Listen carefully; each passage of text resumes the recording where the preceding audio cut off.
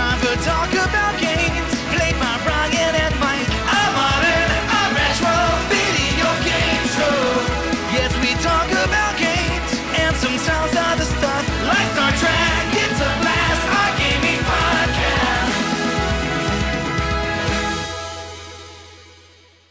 Hello and welcome to another Talk About Games. I'm Ryan. And I am Mike, and today we're talking about Infernax and Bart versus the Space Mutants. Oh boy.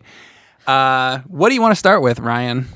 Um, actually, I, I know Infernax just came out Yes. and everybody w- wants to hear about that. Yes. So let's talk about Bart Let's, versus the let's Space talk about Bart. Okay. Yeah. Um, so Bart versus the Space Mutants. It's kind of like, why the fuck would I come back to that, right? right. Because like people look at it as like a crappy game, and it is. It is a pretty crappy Well, game. hold on. Yeah. It's, it's an NES game. Mm-hmm. It's a Simpsons game. It's a Simpsons game from the time when the Simpsons were like a pop culture phenomenon, where they were having like congressional meetings about, oh my God, this is going to corrupt the children. I, I remember well, I remember going to school and I had a Bart Simpson shirt on. It was a white shirt and it said, I'm Bart Simpson, who the hell are you? Right. And the teacher made me like turn it inside out. Yeah. Because like, you know, because it was inappropriate, you know, Right. at the time, which is like no big deal now, but in 1988 or whatever, it was like big, a big deal. Can't say that in school. Um, but yeah, I mean, The Simpsons were. That's when The Simpsons were first starting. It was popular. There was lots of Simpsons games, and um, you might be like, "Oh, well, what Simpsons games are even good?" And people will be like, "Oh, the arcade game is the Yes. good one," and it it is for the most part probably one of the best ones. I just think like like any beat 'em up, not just singling out that. I feel like the arcade game gets a little redundant. Right. Um, but it's a great game. I love that uh, Bongo and Binky from Life in Hell make appearances in the arcade game, The Rabbits. Yeah, the arcade game is definitely like like a, a love letter to Mm-hmm. like early Simpsons and early Matt Groening stuff. Yeah. Um, You own the arcade machine. I do. I own the arcade machine. And actually, I never really even asked you. So I, I'm sure you had to have played through the whole thing when you got that. right. Right? Like, how is that experience? Um, it's it's actually pretty surreal because when you're a kid, you only get so many quarters, right? hmm So like, you know, I got to the end of like what my dollar twenty five or dollar fifty or whatever my mom gave me Right. was, and I'm like, oh, there's a whole, there's more to this, right? There was a movie theater near me when I was growing up. And I, as I've said before, I was a spoiled kid. Right. I actually beat that game in the arcade when I was like 10 or something. What is I, it? I What- went with a giant thing of quarters Yeah. or whatever it was. They had a machine and I sat and I fucking played it and played it and played it and popped in quarters. I probably spent a lot of money doing Yeah. it. Um, and there back then there was only a couple games that I actually beat. When I was in Disney World as a little kid, I beat Double Dragon. Oh, that's cool. I think they had it on free play in Disney World. Yeah. I, I, I think it was in our hotel, whatever it was, Yeah. Caribbean Beach or something. You know, they had like, or I don't remember what hotel it was, but um, but back then to beat an arcade game was like, I- think twice in my life. I think those those are the only two games, arcade games I beat. Did you have any arcade games you beat back then? Any arcade games I beat. I was able to play through Street Fighter 2, like the Champion Edition. right. I was able to beat all the fighters yeah, in that. Um, but you were doing it. See, that's the way you're supposed to do. it. You're probably doing it because you got good at it. Yeah. Where I was just popping in quarters like an asshole re- well, you in know, both of the games. that that being said, when you start getting to the end of Simpsons, like you just die. Oh, it's dead. Death, You're just like it's like it's Yeah. like give me money. It's really Give me- bad. it's like Yeah. made to make money. with like Mr. Burns and all that. Oh, yeah. yeah, yeah. right? So, um, yeah, actually, I we just bought for the convention. We just bought an X Men, and it's actually kind of funny. So this X Men has been sitting in South Philly in a bodega since like it came out. Yeah. Oh, So it was sitting just sitting in the store, and it's uh, four player or the Four six player. player. Yeah, four, four player. player, just like The Simpsons. Um, and it had been sitting in there, and it didn't move the whole time. And they had it uh, TNT Amusements. Todd Tucky maintained it, Oh, okay. so it was actually like it was okay. in yeah. good shape. Yeah, and we're gonna have that. So now I have two of the Konami beat 'em ups. You you know what I never see anywhere because you know I'll go to those barcades and I'll go to um, I've been to Fun Spot and I've been to um, other arcades Cowboys around Moo Mesa. Turtles in Time. Oh yeah. I never see it Wow. anymore. Get Yeah. a Turtles in Time. Rather not- than regular turtles. Not regular turtles. Get turtles in time because you never fucking see it. Right. You never see it anywhere. Yeah, you know, for the longest time, I didn't even know that. I thought it was just the Super Nintendo one. I didn't Oh. even know that there was the arcade because I hadn't seen it. So I I'm from New Jersey. Yeah, So back in the '90s, I used to go to the Seaside Boardwalk. You guys know like Jersey Shore and shit like that. So I'd go to the board the boardwalk, and they'd have um, different places that ha- would have arcade machines, and some of them were like destroyed in a storm, like the really old Right. ones. But one of the other places had uh, the Turtles in Time, and I didn't in the '90s. Like I didn't know it was like going to be a thing or whatever. So I'm walking down the boardwalk, and I turn over and I look, and I didn't know the thing existed. I remember that moment, and like my heart. I remember my heart like dropping. I looked over and it was Turtles in Time that I didn't know existed. Wow. And the machine is staring me in the face, and I'm like, and the music is going, like the, Yeah. you know, the pizza, pizza power, and that Yeah. whole which that that song is really fucking funny because I looked up the li- the lyrics to that song, and um, if you look, if you read the lyrics of that song, it's like, uh, and the Super Nintendo game doesn't have that song. It's only the arcade version that has it, Right. and it's all about the kid has the the glass bowl with the turtles and the the turtles are in the glass bowl and they're just turtles and they're living their life and then it some, says something about uh uh this this UFO comes or they think it's a UFO this UFO of pizza but what it's supposed to be I think is the is the kid with a piece of pizza putting it into the into the bowl and then they're like oh my god whatever it, the, the, basically the lyrics are just like really funny and Yeah. it's like I feel like the person who wrote the song probably didn't know much about Ninja Turtles. Right. You know, they just came up with this goofy song.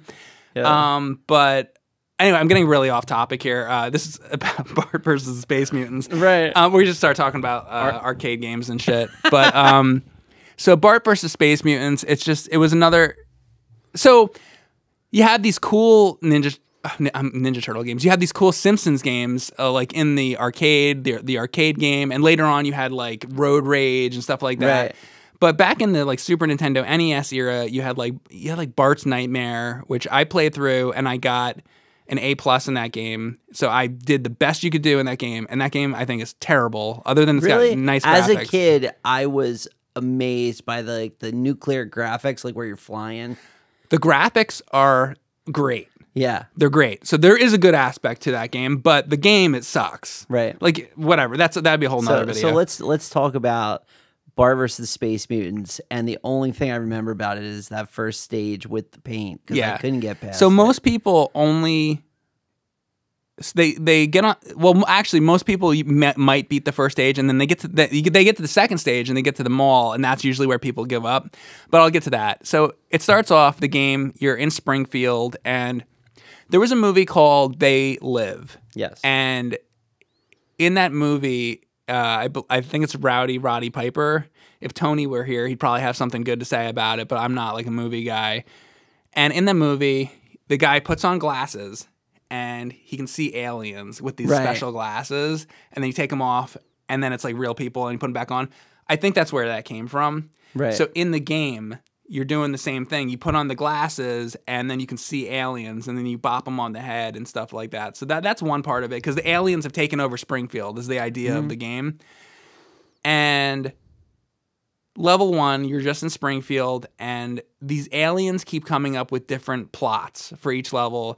Okay, on this level, everything that's purple, um, they're making like these weird machines. I don't, I don't even know. So you got to like get rid of everything that's purple. yeah, So anything you see that's purple, you gotta spray paint it red, or you have to maybe cover it up so you can't see it. Like there's a part where you go over like a wire and you drop like towels down on stuff. Just Yeah. anything you can do to get rid of the color purple.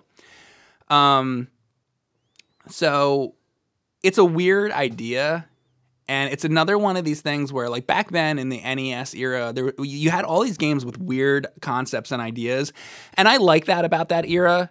That it wasn't just like this formulaic, like, oh, we're gonna make a platformer, and you know, oh, we're gonna make a beat 'em up. It it was like they were coming up with all kinds of weird ideas, and some worked better than others. this is probably an example of something that didn't work as well because I think it confused people. I mean, my biggest problem with it, like, I actually like the way that first stage looks and I like the concept of it. What I don't like about it is it's just really punishing and unforgiving. It if is. you miss one bottle rocket, you miss one, like with the towel, you miss any of that. it's hard, yeah. What are you going to do? there's like you pretty much have to get almost everything. You can you can be over. There's like maybe like a leeway of like one or two things, but it's not much. What they probably could have done to fix it was give you a bunch of additional things, so Right. that so that by the end it's like if you missed ten things, you'd still be good. But they make it so that like you can only really miss like maybe one thing or two before making it to the end. So you have to like you have to do that. So that's what the stage is like. And I think people play that and they're confused by it because you play games like Castlevania and you're just like hitting enemies. You play Mario and you're just running to the end of the stage.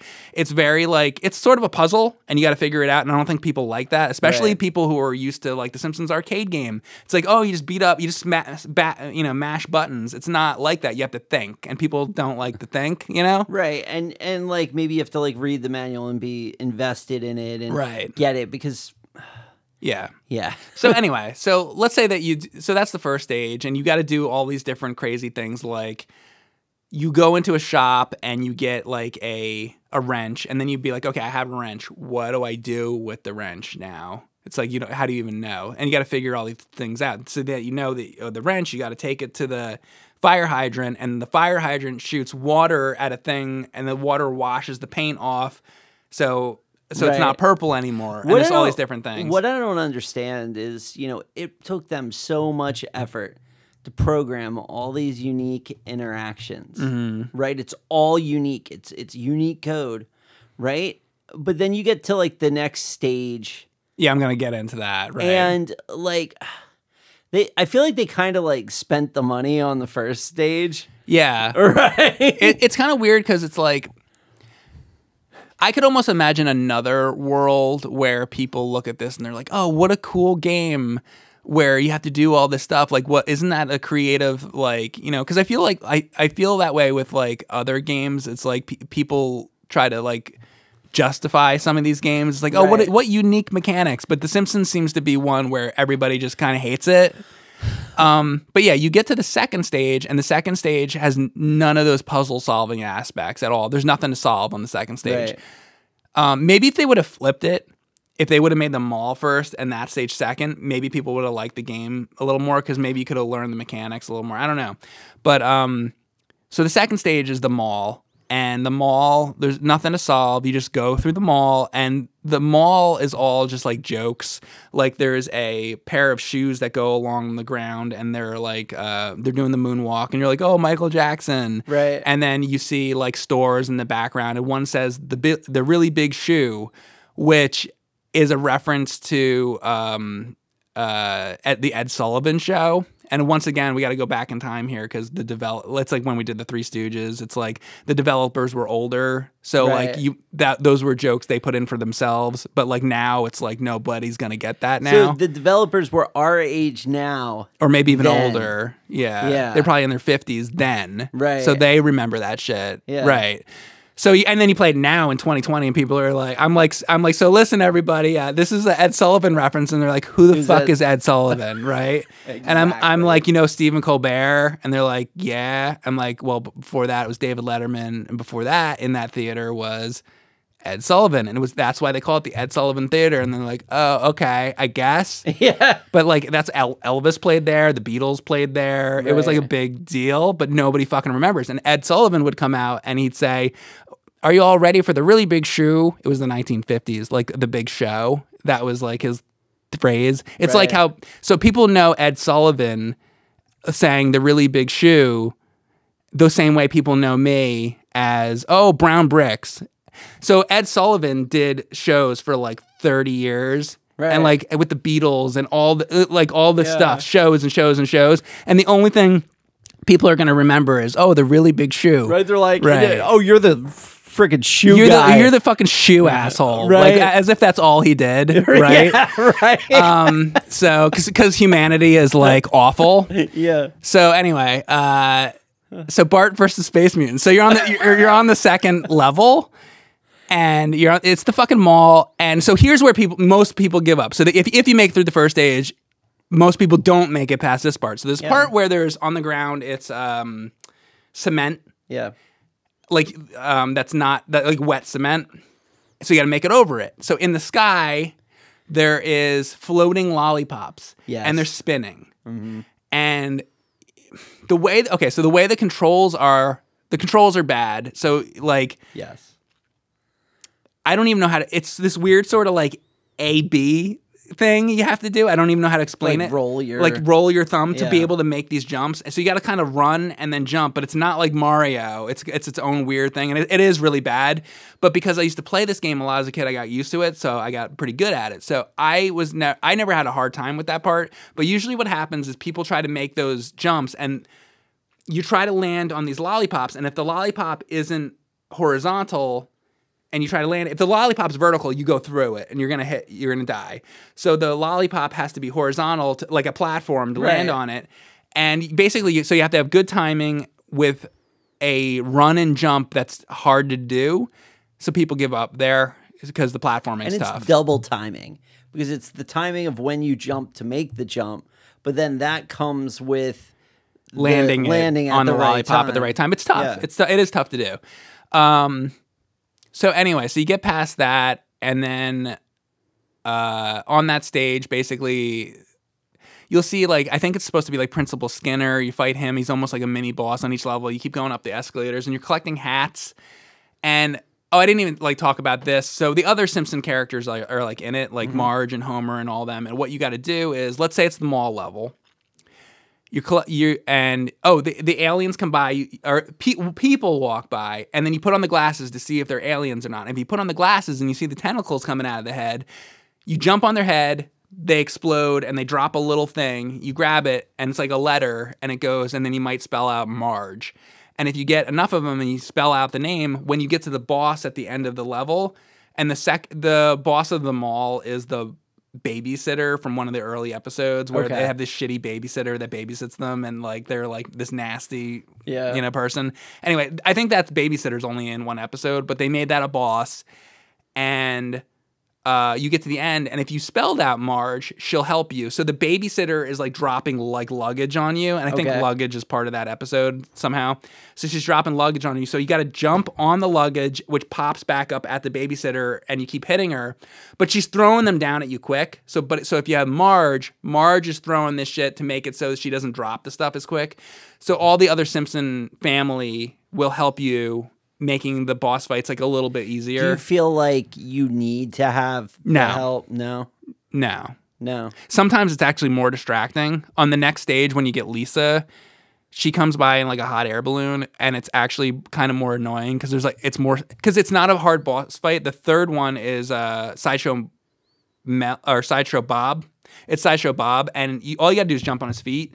But if Lisa's there, she's like doing, she's like dropping things on his head, and it's like more stuff going on. It's like you don't need it. It's kind of just annoying. So Yeah. anyway, the third, so the third level is the Krusty's Funhouse level, and this one I kind of liked this level as a kid because it it was a bunch of mini games, and you there's like different like carnival games you can play. Like you go up to like a spinning wheel and a uh, throwing darts at a board and all this different stuff, and you take the coins and you give it to it, and you can play all these little mini games. And I thought that that that part of it was at least uh, like a fun little idea, but uh, you get to this one part where it's like doors. And it's getting scratchy on the on the screen, and I never figured it out. It's just like these random doors, and you click the door, and then like a bunch of I don't even know how to explain it, but like basically like different doors appear, and then you try to randomly pick the doors until all the doors are closed. I guess So you just randomly do it. I never until- fucking figured it out. I don't know how Yeah. you do that, but fortunately, there's a timer on it, and when it runs out, you don't have to do it. Okay. Anyway, that that part sucks. Um, it's like there's there's so much to like like like unpack with this game and like talk about. It's almost like every. It's almost like I feel like I don't want this to be like a walkthrough where I'm like t- Right. talking about every single little aspect I, of it. But I have a question for you. Yeah, yeah. Has a did Acclaim ever make a good video game? I'd have to look at the list. Right? Yeah. Like I'm just I'm just curious. Yeah. because like you constantly see acclaim games and you know we're known for saying ljn they make Yeah. crappy games but Acclaim is right up there with the uh, licensed titles. Hmm. They published Double Dragon.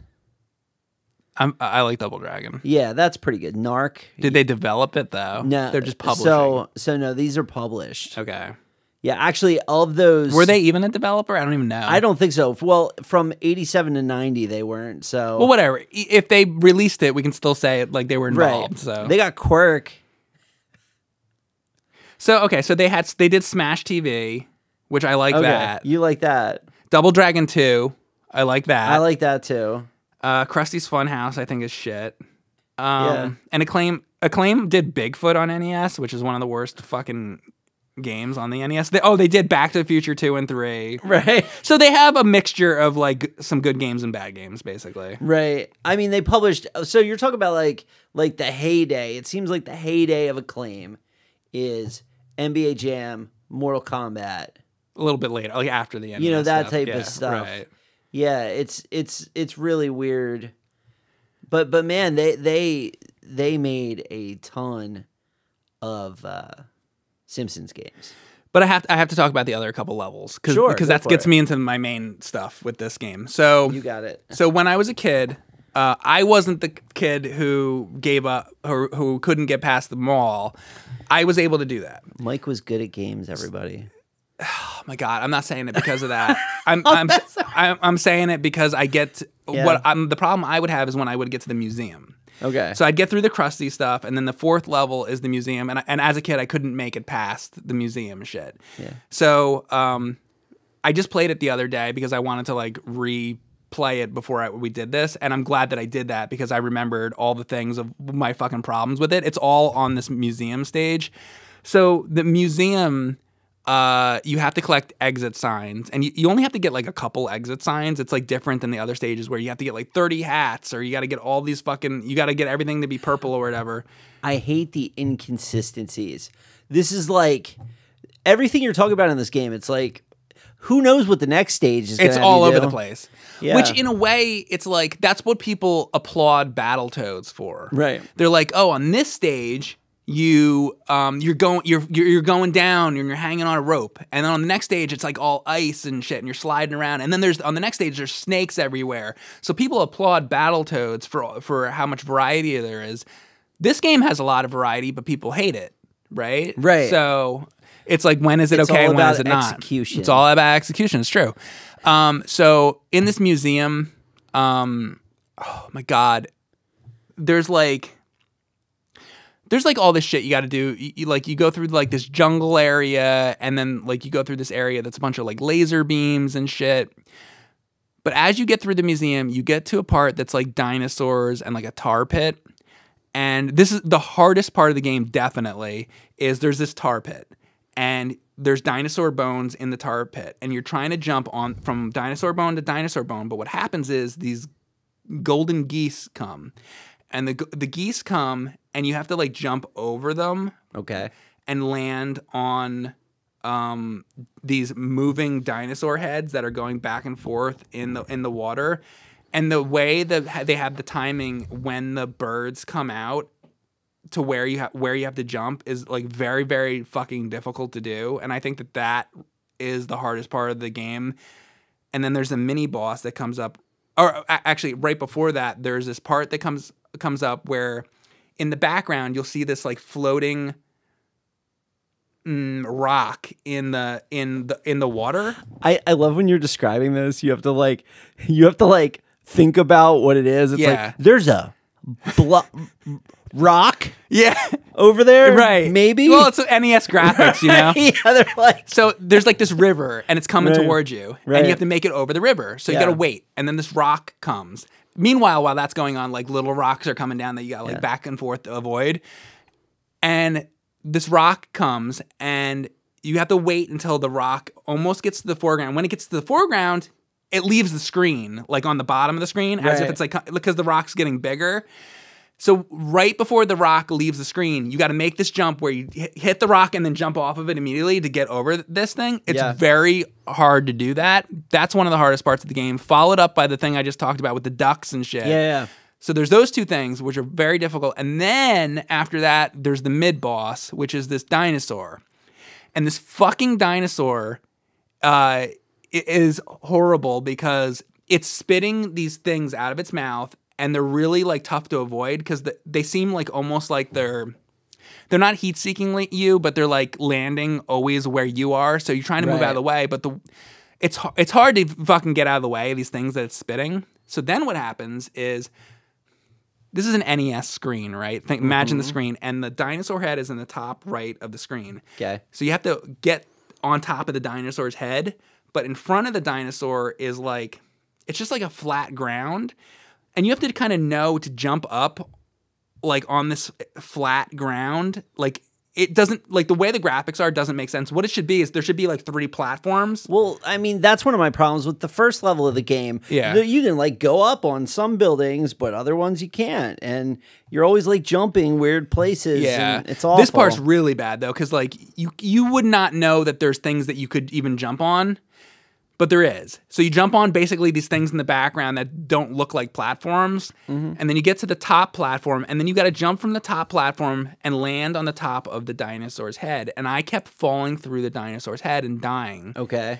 and I was getting really fucking pissed off because so there's the dinosaur and he's got his eye, his eyeball, and right be- behind his eyeball is like this little square on the top of his head, and you have to know, like you have to know that you have to land on that square because if you're before that square where the eye is, you're gonna fall through and die. If you go jump after it, you're gonna die. So there's this little window that you have to jump on to bop them on the top of the head, and then when you do that, that's not enough. Then you got to jump back to that top platform that's before that you don't even know is a platform because there is no fucking platform. It's basically nothing. You're jumping on a spot that's nothing.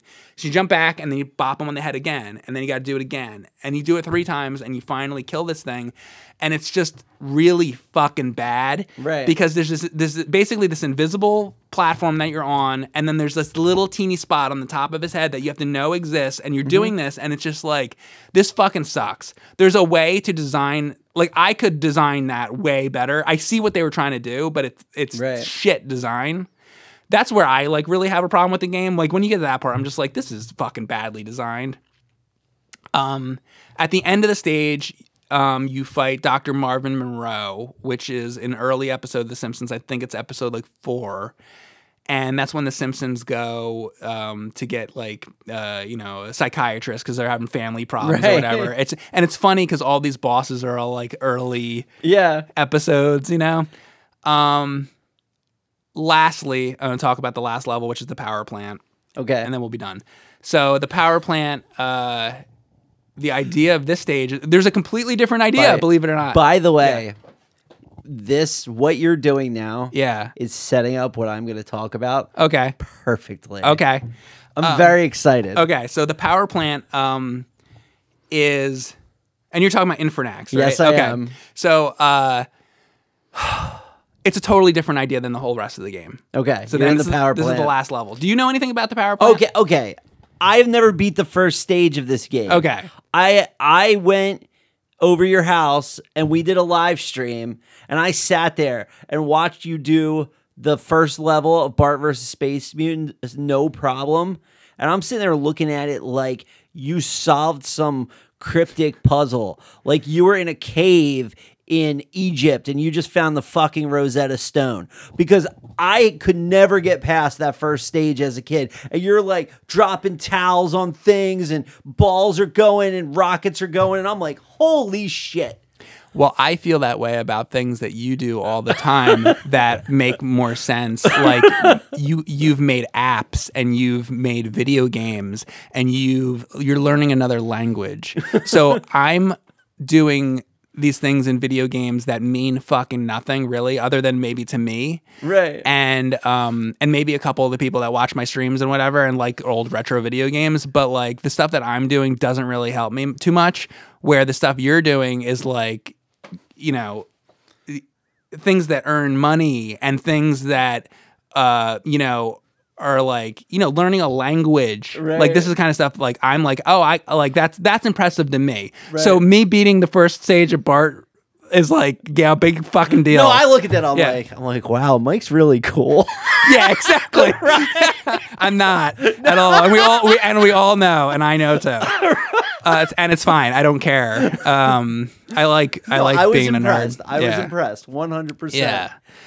Uh, so the power plant. Yes. Uh, so this is a completely different idea than the rest of the game. So you're going around and you're getting little like um, uh, radiate those. You know, in the The chip that falls. the thing in the in the yes. intro, the whatever that is, the little rod, the the glowing. So I would say it would be like a control rod, but it's the green glowy the thing. green from glowy the thing, intro. right? That. Yeah. So you're collecting those, Sure. and they're all over the level. So it's like a maze though, and I've never been able to do it without drawing myself a map. Okay. So it's is it like random or is it always the same? it's always the same at Okay. least. So um, this probably is a game where that people could speed run because it's always the same. So there's five levels, technically six, I guess, to this power plant. One, two, three, four, five. I think it's the the top one's the pink one, and then it's like gray and purple. I, f- I forget the colors like off the top of my head, but they're all they're all different color. Like I think floor three is green, right? And so you can know what level you're on by what color the stage is. on either end, on the right side of the power plant and the left side, there are stairs, and you can go up and down the stairs. In the middle, there's a elevator that runs through the entire power plant, and then in between those, in between the steps and the elevator in the middle, there's another elevator, and then same thing for over here, the right side. There's steps. There's the there's the main elevator, and then there's a middle like elevator. Okay. That's the layout of the power plant. Meanwhile, there's all these different rooms, but it's a power plant, so the rooms are divided by like these fucking metal doors that come down because it's like supposed to be security and whatnot. Right. Sure. So you're walking around and there's like aliens bouncing around all over the place and shit like that, and you're trying to avoid them. And you'll find Lisa, and she'll come up from behind like a barrel or something, and she's and she says, 21, and you're like, okay. So you remember the number 21, and then you get the one of the rods, and then the the glowy green thing, and then you go, and then there'll be like a little control panel on the wall, and you'll know, oh, I just talked to Lisa, and she said 21. So you put 21 into the control panel, Okay. and it opens the door. Then you can get through the door, and you can get to the one of the elevators, and then you take the elevator. You get in the elevator, and it's like, okay, I'm gonna go up to the next floor. Let's see what's on that floor. And now you're on the blue floor. Let's let say. So you start walking around that floor, and he's like, "Oh, I see another uh, green rod." And you collect, you collect that. Right. Okay. And then same thing. You basically keep doing that. Collecting the rods. You might see Lisa. She'll tell you a number. You got to remember the number. And the number she gives you, like if you're on the green floor and you see Lisa on the green floor, the number that she gives you is for the whole green floor. If you ever see any of those things, and every time you play the game, it's always that same number. So the next time you play the game, it's not like randomized. It's not going to be a different number. So do you need to see her before you do it, or can you just type So in? years ago, I went through this and I fucking had to draw it out. And I sat there and I made myself a map and I failed and I couldn't beat the level. But then I went back again and I had more information and I'm like, okay. And then I kept correcting it and shit. And I made my own map of the power plant because I couldn't find a fucking map. And I still, I did a stream the other day 'cause- to refamiliarize myself with this. Um, I asked the chat, I'm like, what issue of Nintendo Power has the fucking power plant map? And they were like, it was this issue, it was that issue. I have all the issues. Yeah. I pulled out all the every issue that the Yeah, chat said, it's in this issue, it's in that issue. I pulled it out and then I'm looking through it and I, I did I found the poster. Yeah. And I found I found an issue that had the the first level, the one you know, Right. the, the the Springfield. I found that. yeah. But the one with the power plant, I still have not found that issue. I think maybe there's a Game Pro or some Oh, other magazine that has it. Anyway, so I had to draw my own map is the point. Okay. And it's not a it's not a hard stage. It's just that you have to know what to do and if you have the map, it's just like it's just it's not it's not really difficult, but what what sucks is though, if let's say you don't have a map, what happens is you'll get one of those glowy green things and then you leave and you go to another area and you're like, oh, here's another glowy green thing. And you got to take them. You can only carry four at a time. Okay. And once you get four, if there's a, another glowy green thing, you go to grab it and you can't get it because you can only hold four. So at that point, you got to go all the way down the basement and then Bart drops them off. Or sometimes Marge will come and she'll take them from you and she'll bring them down to like save time. So you drop them off and then you go get more, you go get more, and you have to get, I think, 16 in total. So you get you get to the point where you got like 13 of them, and if you didn't mark them all off, now you're like, fuck, And it's where timed? it's timed, Oh wow. and you're like, where Yeah. are is the two I missed? So if you don't have a map and you're checking, you're not checking them off, then there's going to be a couple more, and then you're just going to waste time because you don't know where the other ones are. So you pretty much have to make a map unless you're like a fucking genius and you can remember the layout and where the things were. I can't do that, so I have to draw a map. So you get you finally get them all, and you get to the you get the uh, you get 15 of them. You drop them all off, and then you, and then you're wandering around. You're like, where the fuck is the last one? It's kind of like the bombs in the second stage of TMNT, but on crack. Right? Because you got to know where all the bombs are in the dam. It's way it's But way it's like more way yeah, bigger.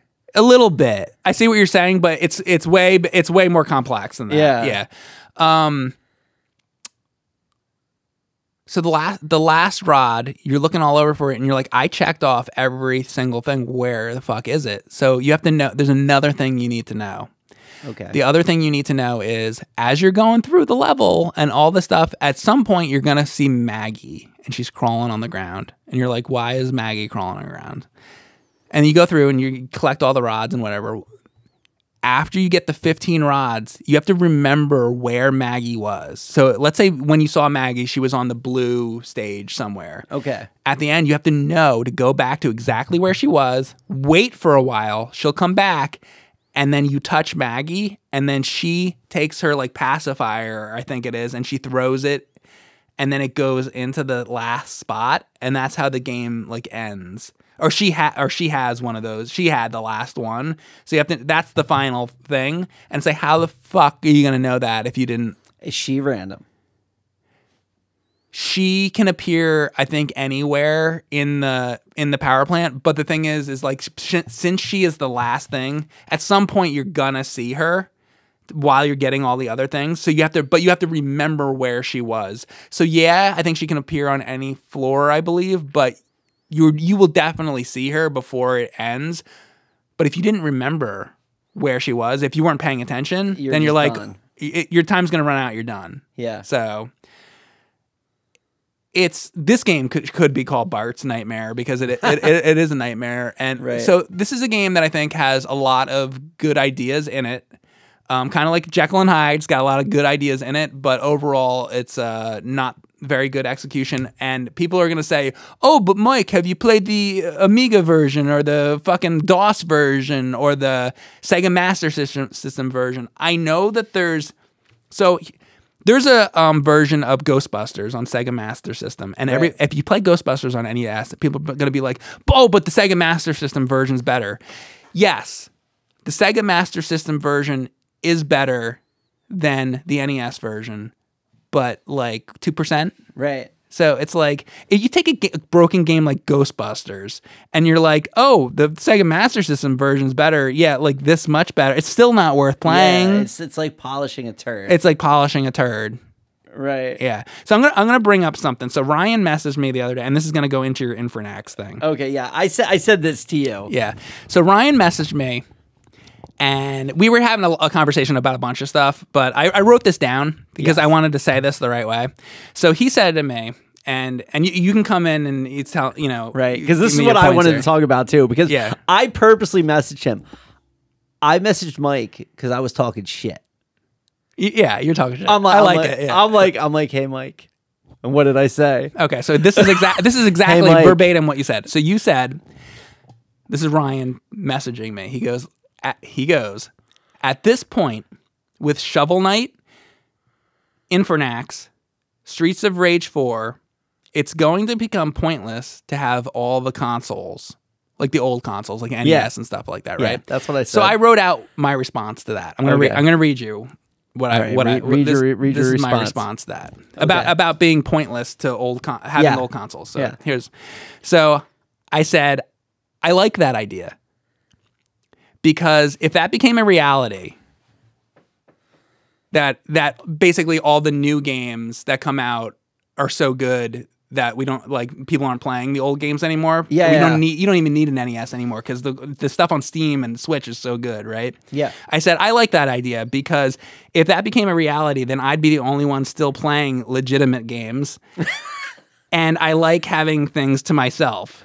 Right. Like I'd be the last guy playing like NES games. Good. Yeah. Go ahead. I, I hope you all fucking. so, so I but- hope you all play Switch because I'm gonna still fucking go play NES. Mike wants to be like that guy that lives in like an exclusion zone in Indonesia and like nobody's allowed near him, like the military guards around where he is because he's the last tribesman. but I'm, I'm not done. So so the games he mentioned, he said he said Shovel Knight, Infernax, and Streets of Rage, are are his were his examples of really good new games and whatever. Yeah. So I said, okay, so Ducktales. Ducktales originated the Pogo Jump, Yes, not Shovel Knight, sure. and it's a better game. Spectre Knight, i I think, is the best entry in the Shovel Knight series. But Shovel Knight, the first game, the one with the Pogo Jump, the fact that it exists in no way cancels out Ducktales for the NES. It, yeah, it doesn't cancel. it doesn't out. cancel it out. So you would st- so you would still need the Sure, console sure, to play but- Ducktales. But, you know, we, we live at we live in a, a time Mm-hmm. and place where people don't have a lot of money, Mm-hmm. people don't have a lot of time, and new games come out every day. sure. Sure. So if you're 18 years old today, do you really need to play DuckTales? Do you You don't need to, but like it should still exist. I ju- uh, dude, I, I don't want to I don't want to get rid of it. But like I'm sitting there, you're sitting here talking to me for 43 minutes and 43 seconds about how much Bart versus Space Mutants is a broken pile of shit. That is, but what about Batman? Sure. Batman's good. But I bet you that somebody's going to look at Batman and they're going to put out a Batman esque game that just is amazing. But uh, sure, maybe. But I'm still gonna want to go back and play Batman on a CRT because it's an awesome sure, experience. Sure, you, you, you can, but, but like, and if other people aren't able to do that, that's a shame. But I think that they should try to also have that experience. I just, okay, so I played Infernax. That's my game. Tell me about Infernax. Yeah, so I gotta tell you about Infernax. so Infernax is a game that has been in development for a thousand years. The first time I showed Mike Infernax, it was a flash game. Long time ago. We were in James's house.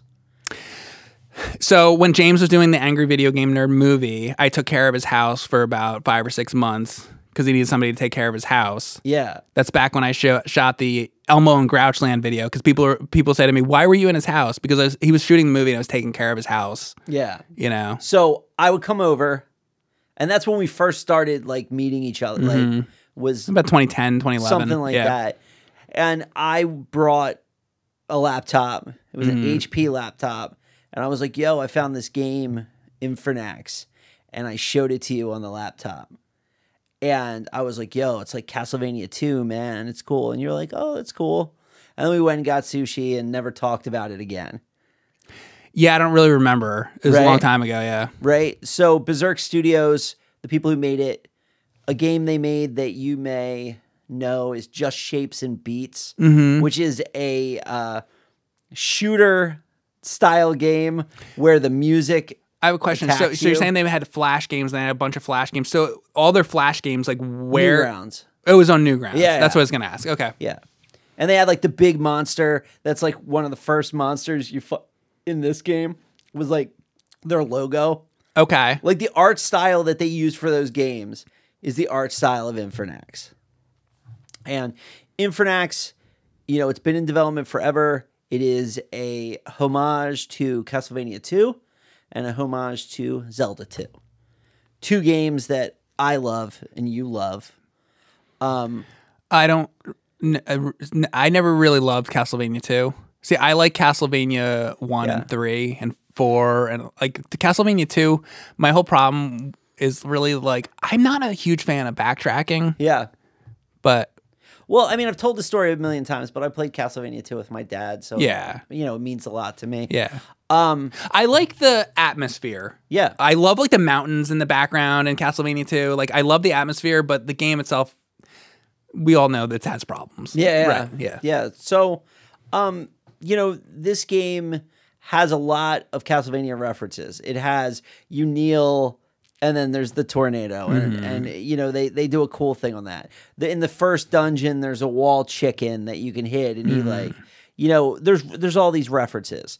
There are uh there's a place where you can put game genie codes in to change the game. Um this game was backed on Kickstarter and you know they have a really nice area called the you know Kickstarter mausoleum where you could see all the people who backed and they they I, they had them write like epitaphs for themselves like all the backers Okay. so you could do that this is a game where you have progression like Zelda 2 so it's the health magic power Right. You know- I played a little bit of the game and I saw like one part that looked familiar is like when you get a key. Yeah. It's almost like when you get one of the like uh like if you get the candle or something in the in the palace. Yeah. It's like it looked like similar to that. Yeah. So I I streamed this a little bit with Aaron. We just did like the first like part of the game. But you got I was watching you play. You got like way further. Yeah, I I'm you know almost through the fourth dungeon, Mm-hmm. so I have like the the charge jump. Yeah, I saw. the- There's there, a thing you did where you jumped up into the air and then you came down, you slammed on the ground. I hadn't seen any of that. yeah, Yeah. I have like the shield magic, just like Zelda two. Okay. but it's updated. I have like the level two of the shield magic that heals you as well. Okay. I- yeah, I was gonna ask, what are the Zelda two things in the game? so game? the progression system, the fact that you you're not a whip guy, you have a mace. Mm. Um, the spells, it's like shield, oh, the heal, spells. Yeah. all of that. Um, a lot of the enemies you fight them like iron knuckles, Okay. like the same way where you have to duck and the sword comes at you know Okay. that kind of thing. Um, you block with the shield. Okay. Yeah, I did notice that. Right. Right. Right. So I mean, blocking with the shield is so important. Um, there's all of that. So it's got like the aesthetic of Castlevania 2 Yeah. combined with the like gameplay type.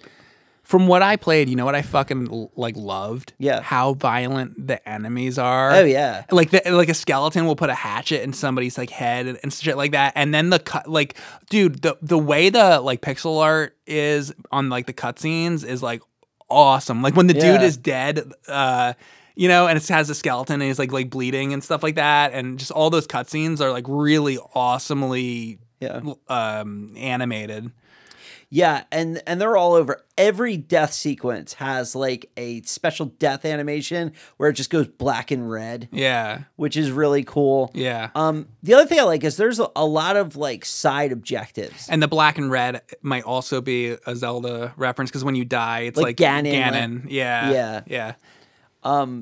I like the uh, how the world changes when you do side quests. Like, oh, I'm gonna save the mill, or I'm gonna save the barn, or oh, I'm gonna go over here and do this other thing. Yeah. And here's the other thing this game has a morality system. Uh-huh. So early on, the cultists who were doing the bad shit Yeah. are like, yeah, why don't you go destroy the book from the, the bishop over in the, the thing? Yeah. Oh, why don't you go destroy the dam? Oh, are you going to like pledge to the Dark Lord? And I've been playing it like goody two shoes and be like, no, of course I'm not going to do that. Right. You know, so the game is giving you all these choices, and there's multiple endings. So if you play through again, you can like you be like evil, do something else. Okay, that's right? cool. which is interesting. Um, spells are cool, techniques are cool. It doesn't feel it is a Metroidvania, you could call it that, um, but it has that old feel. Mm-hmm. It doesn't feel like they were doing what everybody's doing. This game stands on its own as something unique, and I think that's what makes it special. I think that's what made Shovel Knight special, and you know, a lot of parallels can be drawn between Shovel Knight and this game Yeah. because they they establish that nostalgic feel and they hold on to it Yeah. while giving you new and and better things. By the way, I was talking about Shovel Knight earlier. I, by the way, I don't dislike Shovel Knight. Yeah. I like Shovel Knight, and I think you know Spectre Knight is uh, that's my favorite of those. But you know, I, so I played a little bit of Infernax, and I want to say one thing about the game that a lot of these things are like better than Castlevania 2 or like you know Zelda 2 and stuff like that. It has all these things that are like cooler. Like for example, one thing that's like kind of cooler is like we were just talking about like that Ganon thing, like when you ki- when you die or whatever, it's got that you know it flashes and has that cool animation and it's like Yeah. really violent and all that. Like I think that's really cool, and the fact that there's like this map system because you can get like really low because Castlevania Yeah. 2 doesn't have like that map, so that's like a big improvement over Castlevania 2. There's all these things that they did to improve the game, and then they have like this Castlevania 2 Simon's Quest references, like kneeling down with the tornado and all that. But it's just a quick joke. Yeah. So the one thing that they did that I'm not like, I don't, I think could be changed in Castlevania 2, it turns from day to night and a box pops up and then you have to wait for it to change the day of the night. Where I feel like in Castlevania 2, it should have been like instantaneous mm-hmm. because it's like nobody wants to wait for that box. So in this game, they have a moon that pops up that you also have to, as far as I know, because you, can't played skip it. you can't skip it. They should make that skippable or like more instantaneous because if you're trying to make the same type of game as those were back in the day, you're trying to like fix all like keep the same idea but like fix the problem. They should have that in a different like make that quicker because like that that's basically the same exact thing as it was as in Castlevania 2 and it's weird to me that they've done so many things to fix the game and make it better that Yeah. they kept that. So it's not just that. There Oh. are a couple things that are like things. that. The other thing is like you know in, in Castlevania 2 where it's like oh where the fuck do I go? How do I know? Oh, yeah. Oh I need this crystal. I got to go to this town. What's up with that? And then you talk to the people and they're like whatever. And they don't give you much So information. the third dungeon in this game, you go. I'm going to tell everybody. This is not a spoiler because I am saving you time. This is a public service announcement. Okay, third dungeon in this game. You may not realize, but while you were playing the game, you got the thunder spell. Okay, and the one that clears everybody on the screen. Find that thunder spell. Then there is one random NPC in the bottom left corner of the second town that says the following I saw a castle in the waves on a storm last night. That's what he says. Okay? A castle in the waves during a storm last night. Now, this is a game that has a day night cycle. It's also a game that I've I played a little bit of it already. I know I know that there's a lot of characters Yeah. you talk to that say a lot of things. Yeah. So you might have to remember a lot of shit. So you go, and when you go to the map in the corner, the little red square appears. So you know you're in the right place. And you stand on the platform, and you're like, oh, maybe it has to be nighttime. Because the guy said nighttime. Okay. So you leave. By then, you have the spell that you can make day and night change on your own. So you make it nighttime, you come back, you're like, where the fuck's the castle? Where's it at? Right. So you're like, what do I do? So finally, I'm sitting How do you there. even know that that's the right spot anyway? Uh, I know there's something there. Okay. So then I go around the whole game. I went around the whole damn game. I went everywhere. And then what did I do? I went on YouTube. Oh, I and hate when you and I clicked. that. And you know what? This motherfucker goes and he walks there and he uses the thunder spell and the castle comes out of the ground. And it's like, dude, you know what you do? You have this whole quest system. And that's a Zelda 2 reference because it's like when you use, I think, spell in one of the towns in Zelda Yeah. 2, the castle raises and you go in and get a thing, Yeah. key or whatever it is, magic So- container. So, you know what you do? You have this great quest system, but the great quest system doesn't show you where the key progression is for the game. It's just unlock the door to the, you know, get break the orbs. So it's still a little bit more cryptic than it needs than it should be. You think? Yeah, Mm. I do, and and I spent like an hour going around everywhere.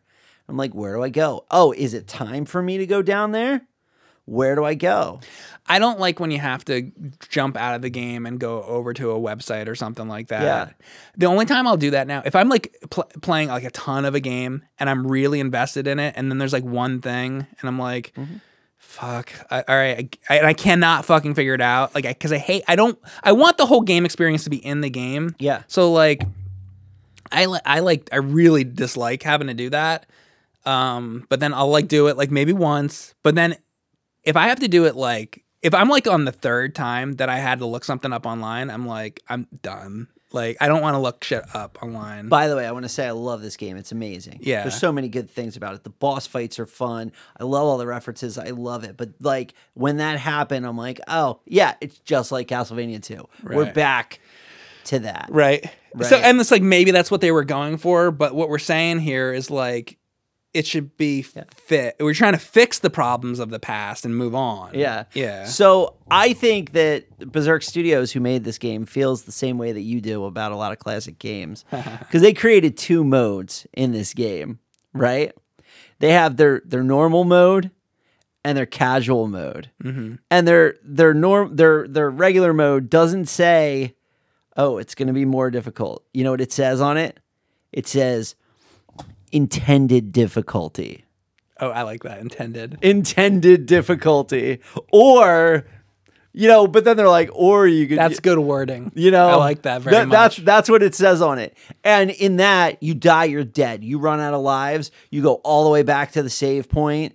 There's no no quarter. It's not easy. But every time you die every time you die they dangle the hey you want to make it a little bit easier See, I like I like options. Yeah. And I like um like difficulty modes. yeah Like I'm totally fine with like a game having, you know, when they, when a game has like easy, medium, hard, very hard, Yeah. all that, like that's great. Like Doom, like has that. And then what do you say when you play it like Doom? You'd be like, oh, what did you beat it on? Oh, I beat it on, you know, a certain setting. Did you beat it on Nightmare or whatever? It's like, oh, I beat it on Nightmare. You know, like that's how you identify to somebody how you did it. Like if you're playing Contra 3 Alien Wars, it's like, oh, I beat it on normal. Oh, hey, I came back and I beat it on hard. Yeah. You know, that's how I like it to be. Or a game like this, fine. You have two different modes because there's a lot of people that don't want that level of difficulty, and that's fine. And then you can say, oh, I beat the game on normal,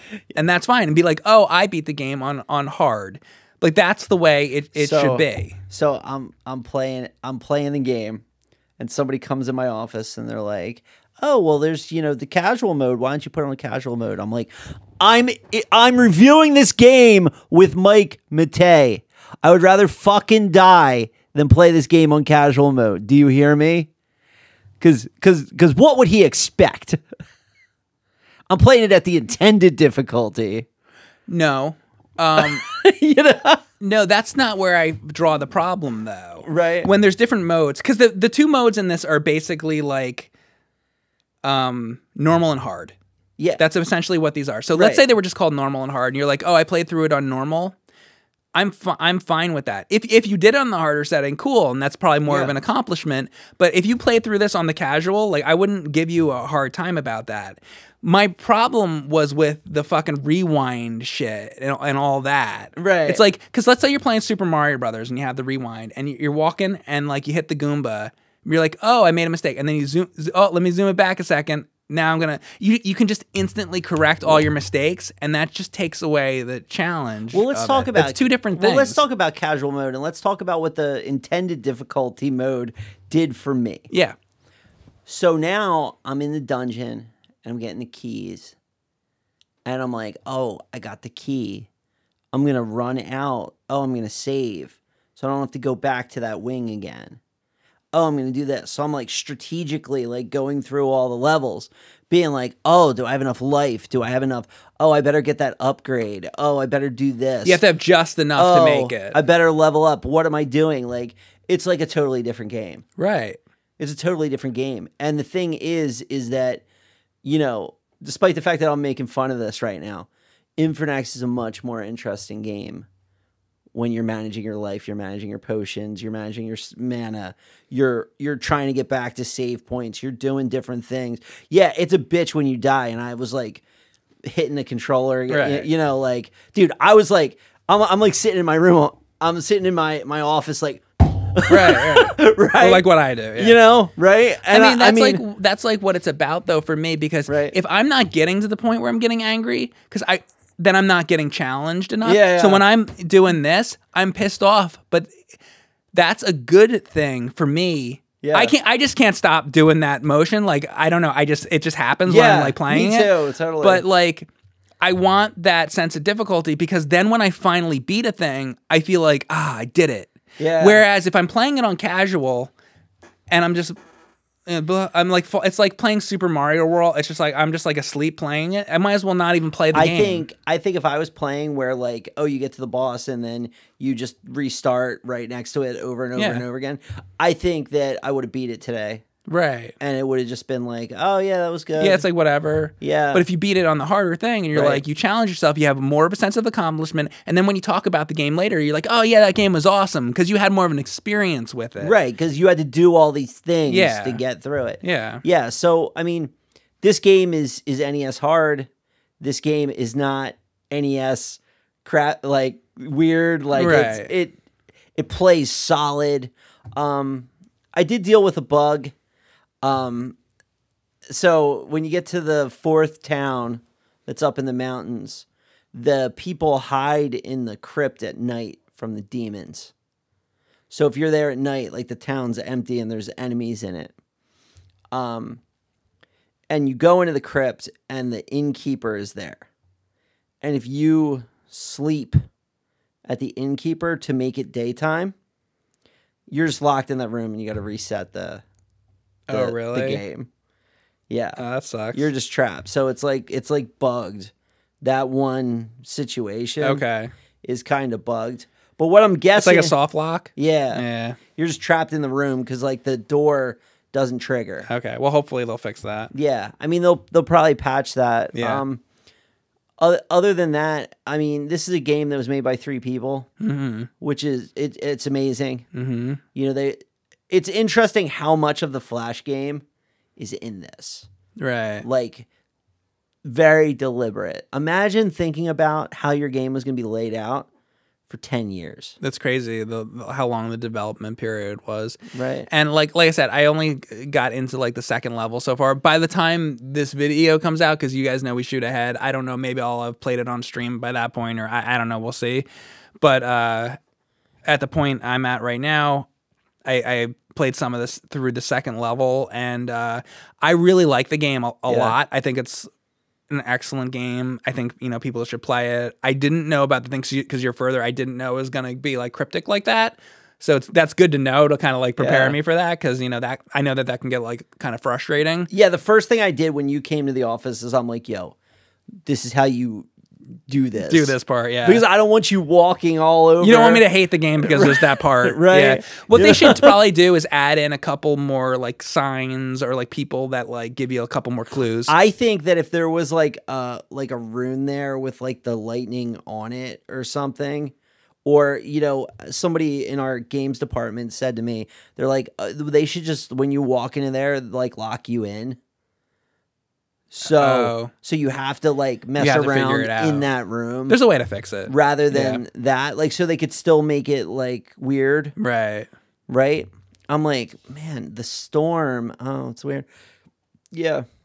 Well, I guess that means I like you yeah. wanted to talk to the guy in the town. Maybe you would have, but like I talked to that guy like five what or six happens times. is I would talk to the guy in the town and it would go in one ear and out the other because I'm trying to play these games and then I also got my chat going on. Yeah. So my, somebody in my chat is talking about God knows what, you Yeah. know, and I'm talking to them about that and I'm not thinking about what the the guy says something about a storm. I'm not going to fucking remember that. And then I get to the part with a thing and I'm like, I don't know what to do, like whatever. And, and then there's somebody in the chat and they're like, the fucking guy said that you fucking idiot. There's a storm. Obviously, you stand on the platform and what, you know.